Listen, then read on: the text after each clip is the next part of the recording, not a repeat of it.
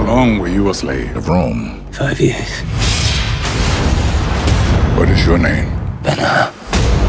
My family was betrayed by my own brother. I won't let him go unpunished.